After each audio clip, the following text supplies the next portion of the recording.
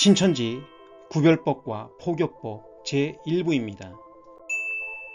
섹스포교, 연애포교, 위장포교, 막가파식 포교, 간첩식 포교, 은밀한 포교를 합니다.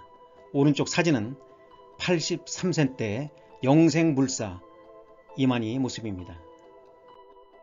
신천지, 신천지의 로고 모습입니다.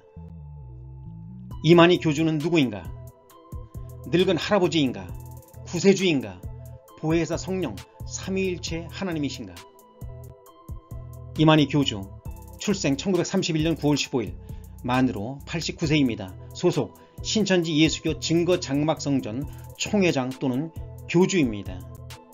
신천지 교주 이만희는 자칭 구세주 대한예수교 장로회 합동 제92회 총회 연구보고 성경 대부분이 비유와 상징으로 되어 있다면서 자신을 직통 계시자요 보혜사라고 주장합니다. 자신을 믿어야 구원받는다고 가르치며 자신을 믿지 않는 것이 곧 심판이라고 주장하는 2단 사이비입니다. 이만희를 우상한 작품들입니다. CNN 신천지는 컬트 이단이다. CNN을 비롯한 외신도 컬트 이단 신천지발 집단 감염에 대한 우려를 나타낼 정도입니다. 신천지 12지파를 살펴보도록 하겠습니다.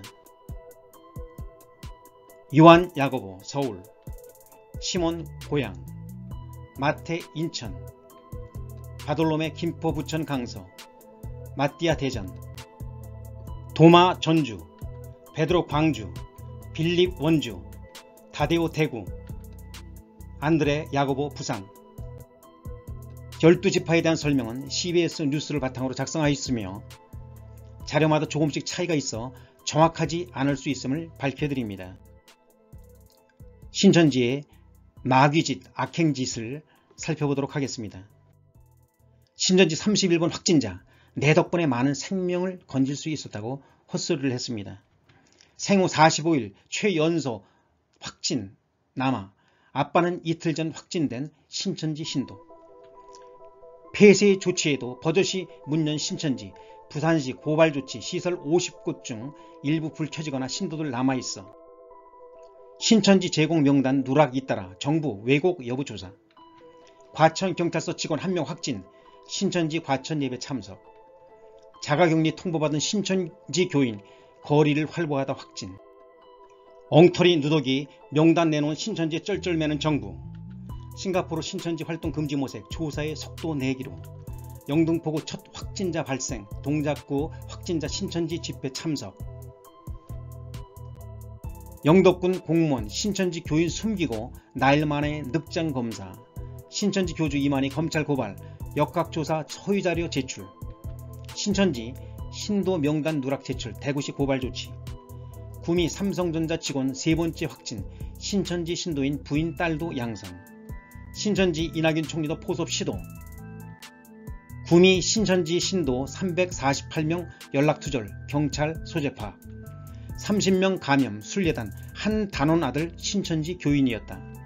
워싱턴 타임즈 한국 코로나 대응 신천지에 발목 잡혀 신천지 핍박에 신도 사망 경찰 처음 듣는 내용 추락사이다. 이 와중에 신천지로 인해 속앓이를 앓고 있는 한 아파트 주민들이 있습니다. 바로 경북 포항시 북구 우방 신천지 타운 아파트입니다.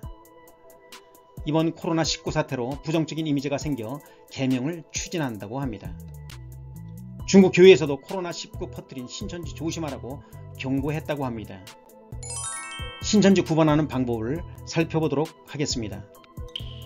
첫 번째, 가족들 간에도 비밀이다. 구별법은 아니지만 신천지 교회는 가족들 간에도 신천지는 절대 비밀입니다. 만일 발각되면 부모, 남편, 아내의 경고를 무시하고 가출해버립니다. 가정 파괴가 이루어집니다. 6년째 집 나간 딸 감염되지 않았을까 신천지와 끝까지 싸울 것. 신천지에 빠진 딸 찾으려 매일 시위. 이만희 고발했다. 신천지에 빠지면 왜 집 나가고 이혼할까? 아내가 신천지에 빠진 지 8년 결국 이혼했다. 신천지 피해자 가족들 이만희 기자회견장 집결 샅샅이 조사해야. 이와 같이 가족들에게도 철저히 비밀로 하고 밝혀질 경우 가출도 불사하기 때문에 아무리 가까운 가족이라도 신천 신도인지를 모르고 있을 수 있습니다. 두 번째, 친구, 지인 간에도 절대 비밀이다. 요즘 사람들 사이에서 신천지를 구별하는 방법이라고 떠도는 이야기가 있습니다. 바로 친구나 지인에게 이만희 개 XX라고 해보라고 하는 것입니다. 이만희는 신천지에서 신이기 때문에 신천지 신도라면 쉽게 못한다고 합니다. 이만희 개 XX보다 이만희 죽어라가 더 효과적이라는 이야기도 있는데요. 신천지는 육적 영생을 믿기 때문에 죽는 건 있을 수 없는 일이라서 그렇습니다. 그런데 이마저도 신천지 신분을 숨기기 위해 이만희 개 XX를 따라 한다고 합니다. 하얀 거짓말이라고 생각하고 더 큰 일을 위해서라면 감수할 수 있다는 것입니다. 세 번째, 신천지 비에 대해서 살펴보도록 하겠습니다. 한 온라인 커뮤니티에서 과거 신천지의 열렬한 교인이었던 네티즌이 일반인과 신천지를 구분할 수 있는 방법이라며 비포주에 대해 증언했습니다. 우리가 흔히 검지와 중지를 이용해 비표지를 하는 반면 신천지 교인들은 엄지와 검지를 이용해 비표지를 한다는 것입니다. 실제 신천지 공식 SNS나 다수 매체에서 그간 보도된 신천지 활동 사진을 보면 교인들 다수가 비를 비슷한 자세로 취하고 있는 것을 볼 수 있습니다. 그렇다면 왜 비 포즈를 이처럼 독특하게 하는 것일까요? 여러 추측에 의하면 신천지 승리의 비 또는 이만희 회장의 영어 이니셜 앞 글자인 L자를 본딴 것이라고 합니다. 이 회장이 자신을 심격화하고 신도들에게 우상화를 강요하고 있다는 것입니다. 네 번째 신천지 어플입니다. 탑원 이 어플이 깔려 있으면 100% 신천지입니다. S라인, S카드, 희소식, 위아원, 텔레그램, S나비 등이 있습니다. 가장 대표적인 신천지 어플로는 신천지 S를 따서 만든 S라인이 있습니다. 신천지 신도만 이용하는 채팅 어플로 출결 체크 앱입니다. 고유 번호를 입력해야만 다운로드가 가능합니다. 고유 번호를 입력해야 하는 어플로는 희소식도 있습니다. 포교를 위한 내부 공지사항과 각종 통계를 확인할 수 있습니다. 텔레그램이라는 채팅 어플도 있습니다. 그런데 텔레그램은 일반인들도 사용하는 메신저라 절대적이진 않습니다. 이외에도 위아원, S카드 등의 어플이 있습니다. 다섯 번째, 교회 밖에서 성경 공부를 한다. 주변에 유독 교회 밖에서 성경 공부를 하자고 하거나 이미 하고 있는 사람이 있습니까? 신천지를 의심하세요. 교회 밖에서 성경 공부하는 것 자체가 이상한 것입니다. 그런 사람들은 자신들도 떳떳하지 못해서 남들에게 말하지 말라고 합니다. 그러면서 삼위일체 요한계시록 등 성경 이야기를 많이 합니다. 그리고 꼭 성경을 언급합니다. 기승전결 결국은 성경과 성경 공부입니다. 인만한 강의이든 콘서트나 봉사이든 모든 만남에서 성경이 언급되면 반드시 신천지를 의심해야 합니다. 요즘에는 성경이라고 하면 경계심이 높아지고 알러지 반응을 나타내는 사람들이 많아져 유대인 교육법을 언급하기도 합니다. 여섯 번째, 주변에 유독 누군가가 나한테 너무 잘해주면 문제가 있습니다. 자신에게 잘해주는 사람이 갑자기 성경 공부 쪽으로 자꾸 유도를 한다면 당신을 포교 대상인 열매로 바라보고 있기 때문에 잘 해주는 것입니다. 반드시 의심하고 조심해야 합니다. 일곱 번째, 수요일, 주일에 너무 바쁘다. 신천지 예배는 교회 크기에 따라 다르지만 보통 첫 번째 주일 예배 오전 12시 오후 7시 30분 두 번째 수요일 예배 오전 9시 12시 오후 7시 30분 과 같은 식으로 진행되므로 유독 수요일 주일에 바쁘다면 가능성이 있습니다. 물론 일반 교회에서도 많은 예배들이 있습니다.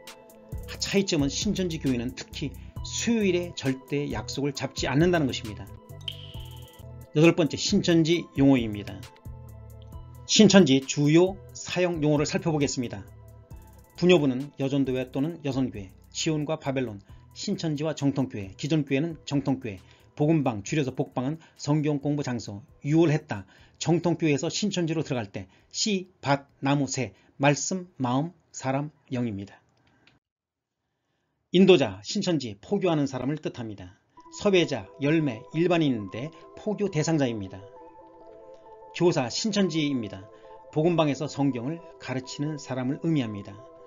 관리자, 잎사기, 신천지, 포교 대상자인 서회자, 포교를 도와주는 사람을 의미합니다.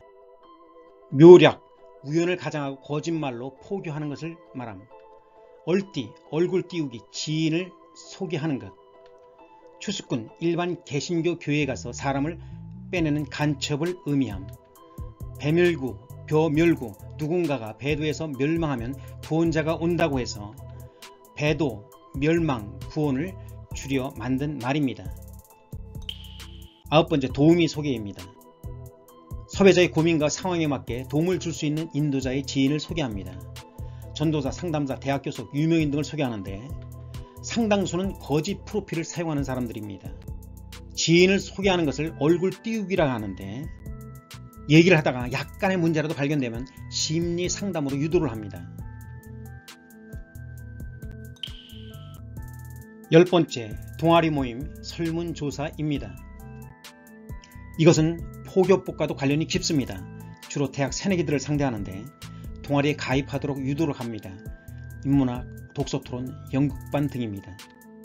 요즘에는 네이버 폼을 통한 설문조사도 많이 이용하는데 심리검사나 적성검사, 강연 등으로 335 짝을 지어 설문조사를 유도하고 전화번호나 카톡 아이디를 받습니다. 신천지 포교법에 대한 자세한 내용은 2부에서 계속됩니다.